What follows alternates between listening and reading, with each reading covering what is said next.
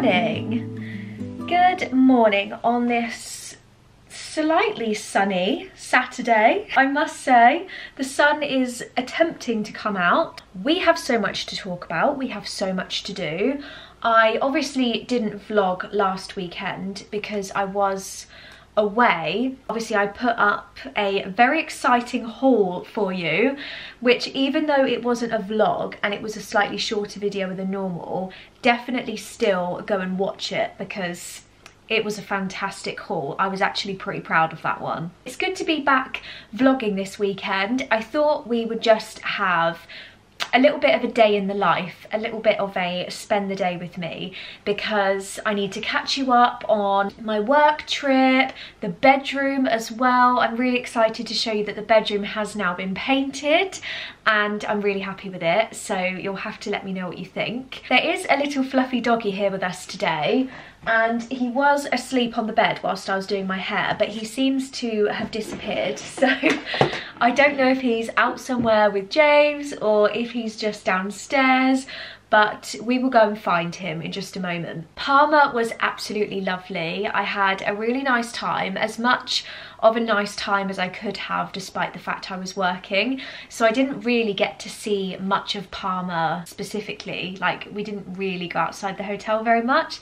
And the quiet time that we did have on the Saturday afternoon, I basically spent half of it sleeping because I was so tired. I got back late on the Sunday. I pretty much was wiped out the whole weekend at this work trip and then it was straight back to work on Monday so this is literally my first like official day off of my job for two weeks. Like I haven't had a day off since that. I had a very slow morning. It's currently 11:54 so the morning is almost up. We got up I fed Ronnie at I think about eight o'clock and then we decided to head out for a really nice morning walk and it was just it was so fresh. I think I did take a few clips, so you will have seen, probably in the intro, how the ground was looking and I don't know how much of the actual frost I would have been able to capture. I've got a really annoying bit of hair here. Yeah, we went for a lovely frosty morning Saturday walk and it was just lovely. It gave me a bit of exercise, it got me outside, which is just what I needed to start the day. Had some breakfast, came home, jumped straight into the shower, gave my hair a nice thorough wash, did my skincare, got myself ready and here we are. Now I will show you what James is up to when I get the chance to go outside because he actually, hats off to him, came up with a really good idea for the front of our house. So we basically have a front lawn and then directly as you walk out our front door you've got a pathway and then just to the right hand side of the pathway there's basically some slate. It's like the width of a pathway, basically, a narrow pathway. And we've just got loads of slate and that is all that separates basically our pathway from our neighbour's driveway. We've sort of been toing and froing as to what to do with this patch of slate because we thought do we turf it and then we thought no it's probably not worth turfing it we thought do we extend the pathway and just kind of patio it and then I was like no because my my brain isn't going to be able to cope with like the lack of symmetry with the pathway going across some of the house. So that was a no. And he's come up with a really good idea. Um, he went and found some completely free pallets like loads of palettes I can't even remember where he got them from. But he is putting his DIY to the test and he is using the palettes to basically create some big um, planters to go on the slate. So I think we're going to make two um, to basically just sit on top of the slate. And it means that I've got loads of space, well, a fair amount of space to add some more plants to the front of the garden. And I think it's going to look really good. In about 15 minutes time, I need to leave the house to go and pick something up, which I will show you. This, I think, is going to be one of my projects for today. So I think it's going to be a little bit more of like a DIY vlog today. But I was scrolling Facebook Marketplace this morning and I found someone that lives not too far away in like another estate um, selling the most beautiful Laura Ashley floor lamp basically. Firstly, it's the most gorgeous um, base but the um, the shade, sorry I can't get my words out today, the shade on the base is kind of like a dusky pink colour and I'm not convinced it's going to work because I want to put it in this room basically, I don't know how well you can see, but basically in this empty corner where I've got a bit of pampas at the moment, I've just been kind of using it to fill the space. So yeah, I think I'm gonna have to change the shade at some point. So I'll have to have a hunt for that. But in the meantime, the base is a wooden base and it looks really lovely. And it's kind of like a, um, a white painted kind of distressed wood look. Maybe I'll love it. Maybe I'll love it but it does look like it's got a few marks on it and I'm kind of thinking, do I take the same approach as I took for the stair banister? If you haven't seen the stair banister, you're gonna be like, well, I don't know what that is. So, I have some Frenchic paint and some Frenchic browning wax, which I use to basically create like a faux wood effect on our stair banister. And I'm kind of thinking, do I get the buffing brushes out and the browning wax and do the same thing for this lamp base. So yeah, we'll crack on with that today. Once I get back, I will show you the bedroom, I'll show you what James has been up to, and we will go from there. But I'm excited. I feel like it's gonna be a really productive and hopefully successful afternoon. I think I can spot a little fairy face peering over the cushion. I think I can spot a little furry bottom sitting on the sofa. Sleeping on my new blanket as well. That didn't take you long to discover that, did it? Okay, we have a lamp. We have a lamp with a very wonky lampshade, which is completely my fault. It was a very loose lampshade and I just couldn't get it to go in the car. So I really have bent it, I think. But I need to uh, find a way to get it off. It did come with a light bulb. Let me try and show you up close. The light is just not going to get it, but can you kind of see the texture that's on here? She said actually that she bought it secondhand and that someone had already upcycled it, which is quite exciting. So I need to find a way to remove this lampshade. Once I figure that part out, I can pop into the garage and get painting. So this is the base and you can see it is supposed to have kind of a distressed look but equally I do think it is just looking a little bit worse for wear and I think where you've got all of these chips in it as well I think with the wood effect it will make it look really lovely.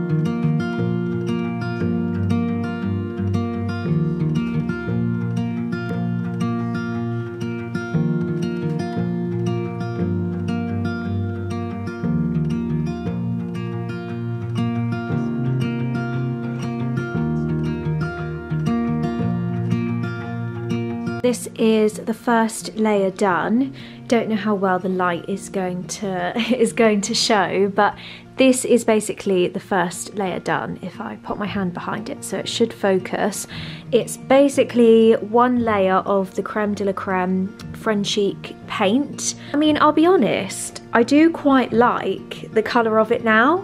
I do think it looks quite nice, but I just feel like this colour is kind of going to like sink into the colours of the bedroom and I want it to just stand out a little bit more and I want it to look like a little bit more rustic and yeah I just don't want this to drown in all of the sort of light white colours of the bedroom.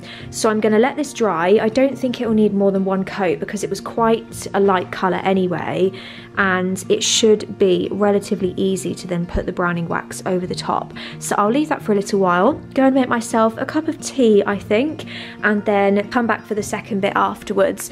So this is the brush that I use to do the stairs. I am going to give it a, a quick second clean, but I think it should be okay, like it's not, um, it's not hardened. And then the browning wax, just in case you didn't see, I will go and show you the stairs.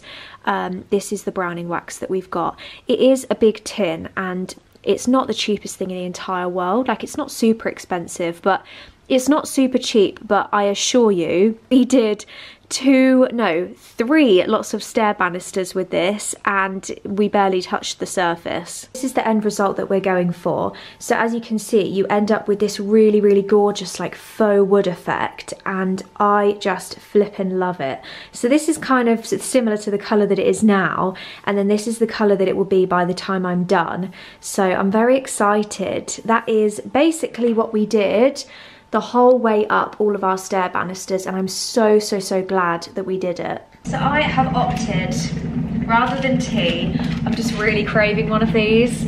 I flippin' love these. This is actually the last one in the last box that I bought, but I do have an unopened box still in the cupboard because my mum got it for me. Last time she was in Søstrene Grene. They are just so yummy. It's like oh, it's like a chai latte, but just like caramelly. It's so smooth. Doesn't require milk. It's just so easy to make. So this is what we're going for to warm me up and fill my tummy with a yummy drink. We did actually, you may have, uh, if you've been watching it, you, you've probably already finished it now as well, but we actually finished watching the final of The Traitors last night and it was so good. Like I, I knew that it was gonna be good anyway, but oh, it's the kind of thing that we watch where we kind of like sit on our phones kind of in between and we're kind of like 90% focusing on it. By the time it got to like the, the second half of the last episode, our phones were nowhere to be seen and we were like, watching the TV. It was so good. It, it was, I, I remember turning to James at one point and I was like, oh my God, I feel sick. it was just, yeah, it was so tense. And even though you already knew kind of what was going on, it was still so unpredictable in terms of the decisions that people were going to make. So if you haven't watched it, then that is a serious TV recommendation because it's just it, it's just really good. It's like a reality tv show but with more of a fictional twist to it. And I, I genuinely, I said this about the first series, I genuinely did not think that it was going to be the kind of TV show that I would enjoy watching and I would get into. But there's just something about it, there's just, it's just so interesting watching how 22 humans at the start of it, I think there is, just interact with each other, trust each other, deceive each other, play the game against each other. It's just, yeah, it... Any recommendations, let me know because we now, gosh, I was really slouching then, wasn't I? We now need another TV series to watch.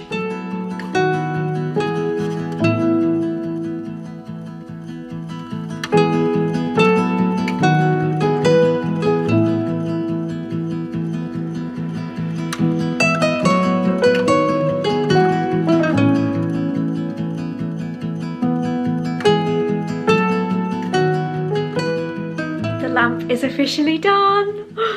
I'm really pleased with it. It doesn't, um, well, I say it doesn't take long to dry. The thing I found with this wax is it's touch dry, literally within 20 minutes. Like it, it dries really, really quickly. But for it to fully, fully dry, it takes maybe like a week, I would say, or at least that's how long it took when we um, oh, someone's doing a bit of yoga in the hallway. that is, that's how long it took when we did the uh, banister for it to like really feel as though it wasn't just going to rub off. Let me spin you around and show you how it looks. It is in the corner of the bedroom, which is exactly what my plan was basically. I don't know how amazing the light's going to be in here. I've got stuff honestly everywhere. You've got spring in the corner, you've got winter next to it. I think I'm going to take those out now because I've just had enough of winter to be honest. But yeah, this is how it's looking and I'm super, super pleased with it. Look! Oh, I love it, I love it. I'm really, really happy. I don't want a massive lampshade because I don't want it to kind of take away from the picture I've got on the wall.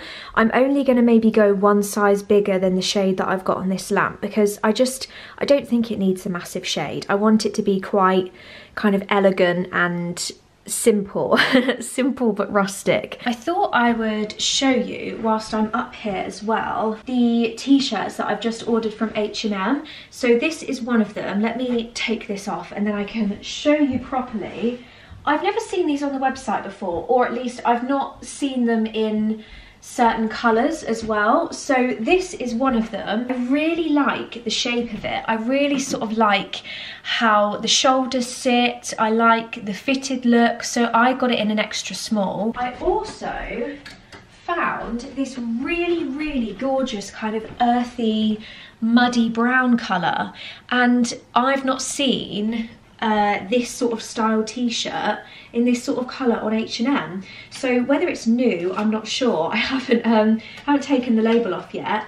I can't remember the price, but I want to say they were either $7.99 or $9.99, one of the two. It would basically be the same fit as the white one that I've got, but in this lovely brown colour. I don't know, no, it wouldn't really go with this, uh, with this jean colour, but I think with some black trousers of some kind, it would be really nice. It's kind of more of an autumn colour, isn't it? But I think you could really make this work and it's just a very nice warm colour. I think sometimes lighter beige colours don't really work with my skin tone and equally sometimes I struggle a bit with black so having this slightly warmer colour against my skin tone I think does make it a little bit uh, a little bit softer. Popped into the range because James is going to go into Wickes and get some stuff for the planters. I can't talk for very long because I will get copyrighted. But whilst I'm in here for a lampshade, I thought I'd show you the Easter bits because it looks so pretty.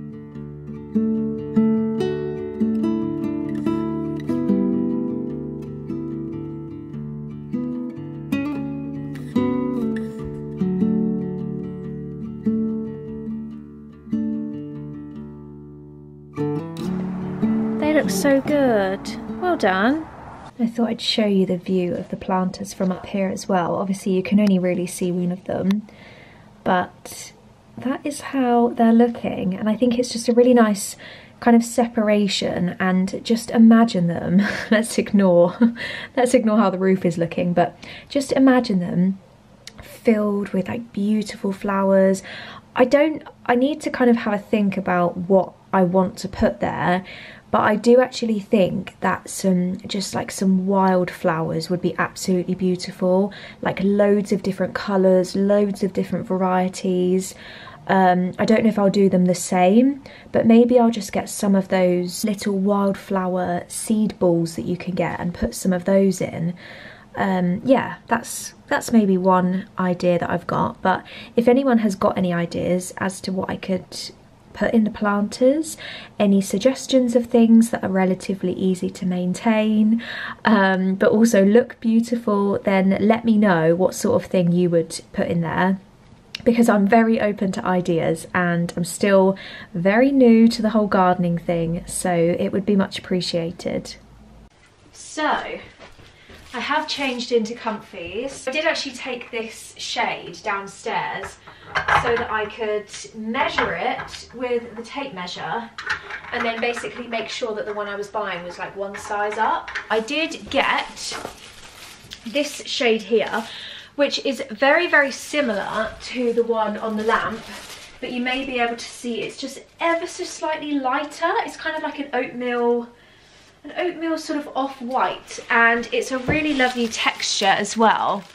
If you can see on here, it's got like a really nice sort of linen texture to it. So let's get this wrapping off. I think it will be the perfect size.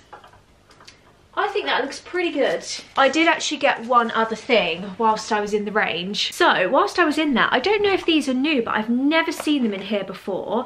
They had a candle version of this and they also had a diffuser version of this candle. And I thought it was gorgeous. It's from the True Aroma range it's from the true aroma range that's kind of hard to say um, and I think I have had a candle from that range before. The lid itself is actually like stuck down, so I could only sort of go like this in the shop. But it did smell yeah, see, I've just had a whiff of it now. It did smell really lovely. And it was only five ninety nine, which I didn't think was too bad for a three wick candle. It smells, um, it's definitely got vanilla. It's almost like a floral fresh vanilla. It's called the Neroli Water Reactive Glaze Candle and it's 285 grams. The diffuser is just as gorgeous and that was $6.99. I was really, really close to buying that, but I have so many diffusers that I haven't opened yet. I need to get through those first. But I really loved it almost reminded me of our dinner set downstairs. It's really similar, but I loved the glaze on here and I loved the kind of different tone that you get around the rim of it as well. I think it just looks, I kind of have a bit of a thing at the moment for candles that look a bit more like ornaments. Let's get this lampshade on. It's gonna take me about 10 years to unwrap it because it always does with lampshades, doesn't it? Is it still too small or does it look okay? I think it looks okay. Maybe it's too small still. But then I think if I had it any bigger, it would be in the way of the artwork that I've got on the wall. And I do kind of really like this whole look together. Doesn't the wood just look gorgeous here? And I actually like that this is lighter than the other lampshade because it kind of enhances the wood a bit more. I just, this, this whole shot with the wallpaper, the wall colour, the wood, I'm loving this. And then I've put the lamp, just for now, I've put it up into the windowsill in the snug here. I don't think I'm going to keep it there but I do actually really want a lamp in this room because obviously we haven't got a lamp in this corner and so we either have to have the big light on or we have to just go by the TV light and sometimes it's nice to have a bit of an in-between. So just for now I've popped it up on the windowsill here. I don't know if I ever have I ever showed you these cushions? I can't remember if I have. Maybe I have maybe I haven't. But I got these made. It needs a bit of a a bit of a fluff but I got these made by a lovely lady on Instagram. I will tag her Instagram account down below or her website down below because she buys Neptune fabrics. So this is the Orla Moss fabric and then makes them into beautiful cushions for literally a third of the price, probably not even that, like less than a third of the price. So yeah, it's got Neptune on the front and then a gorgeous linen fabric on the back. Okay, I think it's about time I showed you the bedroom upstairs because I've been talking about it the entire day and I still haven't showed you. So let me spin you around. Okay, the bedroom's tidy, that's good. Let me spin you around and show you the new paint colour. So hopefully the lighting is going to do it justice. I will put a picture on the screen of how it looked before because I think when you actually compare it to the before colour you can really really see the difference. How much warmer does this look? I'm really really pleased with it. I love the light sort of coloured bedding so I've taken off the darker brown throw because I just didn't feel like it was working and I really love this cushion combination as well that I've got with the other Neptune cushion and then the two dusk ones here. But how much better, in my opinion, does this look? And if I turn you round as well, this is kind of still a work in progress in terms of styling, as you may be able to tell. But again, if I put a picture next to it of how it used to look, you can really, really see the difference. Now, the reason I've put this here as well is because I am kind of thinking, maybe I could put this up there. Because obviously I'll have an arrangement in that vase eventually. So I don't know that I want to centre it on the wall but I'm thinking it could look really nice up there so that's just a thought. I need to get James up here to hold it for me so that I can stand back and really have a look. We've actually done the laundry room in the same colour as well. So we used the same paint in this room as we have done in the bedroom. As a reminder, it is Elephant's Breath by Farrow and Ball. And we got Brewers to match it in their own brand paint, which I get on really well with. It's a really good quality paint. It goes on nicely. We've had no issues using it for the walls, for the media unit. It's really nice. So yeah, a bit of a bedroom update for you. I'm really, really pleased with how it's coming along. The next task I have is to find some nice artwork to go above the bed because I just don't like that empty space. So I'm thinking I'm going to find a nice, not too big, but a nice uh, landscape rectangular piece of artwork to go up there. I might go and find a really nice sort of vintage print off of something like Trove Prints or Musée Home on Instagram and then pop to somewhere like The Range and buy one of my favourite sort of vintage looking frames. Quick update, James has just very, very kindly put this piece of artwork on the wall for me.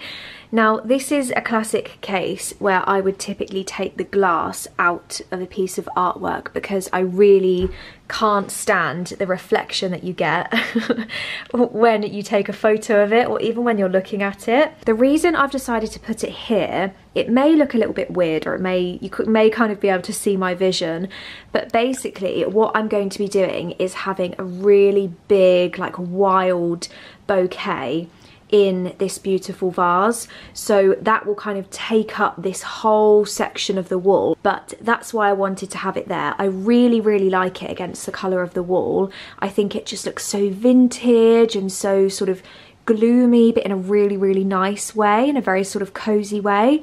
So yeah just imagine you've got a great big arrangement here. I don't know what I'm gonna have. I don't want it to be too green. It needs to be sort of quite muted. But yeah hopefully you can see the vision. I thought I'd just show you the update on that. I know lots of you did comment when I bought this to say that you really liked it uh, and you'd love to see where it eventually ended up. And it's not typically something that you would have bought straight away, um, but seeing it in the frame and seeing how it looks up close kind of changes your mind, doesn't it? I never thought I would buy something like this, but here I am, absolutely loving it. I've just come upstairs for a little while to catch up on some of my own TV and I have to say the lamp looks so cozy in here. I don't know if it's actually gonna focus. If I maybe move in a bit closer you might be able to see a bit better but it looks really cozy. It's so much better than this big light up at the top and it just means that I've got a bit of light to actually see. I think this is going to be my um, my space for this evening. I'm really, really glad I've done that. I'm still going strong with my papier diary. So I've been filling this out as I go. I've literally been going through it every single day and I'm going to catch up on a few things that I've still got left to do for the weekend. See if I can get ahead for tomorrow. I've got a bit of content um, to edit as well for my Instagram. So I've taken some photos of the bedroom to upload on there as a little reveal. So if you are over on Instagram then you probably will have already seen it. I do try and tally up my YouTube or my Instagram the best I can. But obviously if you are wanting to see things that are a little bit more in real time as opposed to always being a week behind on my YouTube then Instagram is a good place to keep an eye on. Especially my stories. I upload stories every single day. Sometimes it's just a picture or two. Sometimes it's just me checking in with a cup of tea. Sometimes it's you know, more in-depth things, things that I found in the shop or things that I'm up to, places I am. But yeah, I'm going to catch up on a bit of YouTube in the background, get some content edited, and then, and then, and then, this is exciting, we are going to get takeaway. I think James is desperate for a Chinese. I quite fancy like a curry or something. I don't know why, I just kind of feel like it, but I'm happy with the Chinese. We'll get some nice Chinese food. We'll enjoy that. We'll take Ronnie out for another walk before we go. It's pretty much getting dark now, to be honest. Um, and then it's just going to be a nice cozy evening for me, I think.